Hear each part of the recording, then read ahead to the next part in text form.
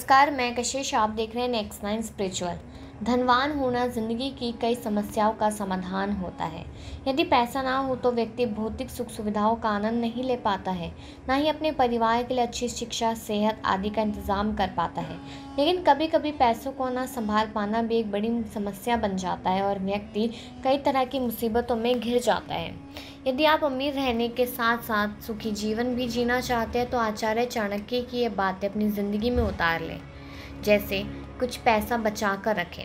कितने भी अमीर हो जाए, लेकिन बुरे समय के लिए पैसा बचा कर ज़रूर रखें, क्योंकि बुरा वक्त और बीमारी कभी भी दस्तक दे सकती है।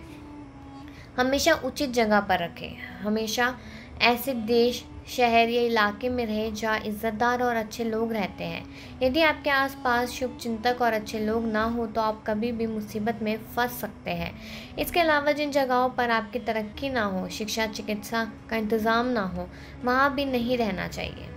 धन का मोह ना करें। पैसे को लेकर इतने लालची ना बने कि उसे पाने के लिए अपने धर्म, सिद्धांत, परिवार की खुशियों से समझौता करना पड़े या गलत लोगों के साथ रहना पड़े। सोच समझ कर दान करें। धर्म पुराणों में कहा गया है कि किसी भी चीज़ की अति नुकसानदेह होती है।